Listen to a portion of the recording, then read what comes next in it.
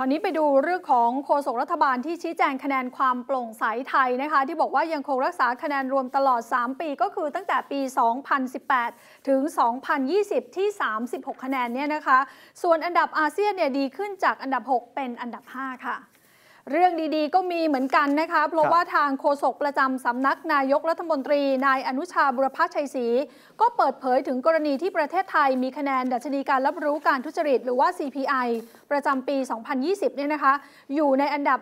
104 ของโลกค่ะ จาก 180 ประเทศ ตามประกาศขององค์กรเพื่อความโปร่งใสนานาชาติหรือว่า TI โดยบอกว่าในช่วง 4-5 ปีที่ผ่านมาเนี่ยนะคะ อันดับของไทยถูกปรับขึ้นลงตามปัจจัยที่ผันแปรในแต่ละปี อย่างเช่น แหล่งข้อข้อมูลที่สำรวจ หรือว่าจำนวนประเทศเป็นต้น แม้ว่าปีนี้เราจะขยับลงไป 3 อันดับแต่ว่าไทยเนี่ย ยังรักษาคะแนนรวมไว้ได้ตลอด 3 ปีก็คือตั้งแต่ 2018 ถึง 2020 ที่ 36 คะแนน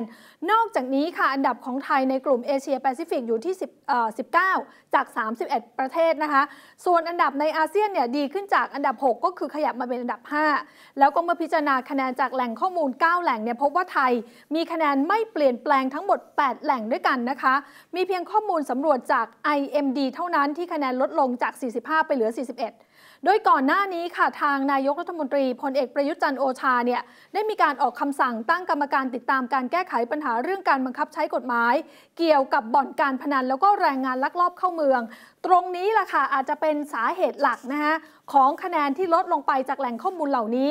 จึงได้มีการสั่งกำชับ แล้วก็ลงโทษผู้กระทำความผิดขั้นเด็ดขาด หลังจากที่เพิ่งพบตู้สล็อตล็อตใหญ่ เมื่อเช้านี้ที่โกดังข้าวที่สุรินทร์ใช่ไหมใช่ครับ โอ้โหนะนะงามหน้าจริง ๆ ค่ะ นอกจากนี้นายกนั้นยังสั่งการให้ทุกหน่วยที่เกี่ยวข้องเนี่ยไปศึกษารายละเอียดนะคะ แล้วก็ทบทวนการปฏิบัติงานใหม่ โดยสิ่งใดเป็นข้อเสนอแนะอย่างเช่นของ TI เนี่ย การสร้างความเข้มแข็งให้กับหน่วยงานตรวจสอบ การสร้างความเชื่อมั่นเกี่ยวกับการเปิดเผยและความโปร่งใส ในการได้รับสัญญานั้น จะต้องได้รับการปรับปรุงให้ดีขึ้น ไม่ให้เกิดปัญหาเดิมๆ ซ้ำอีกต่อไปด้วยค่ะ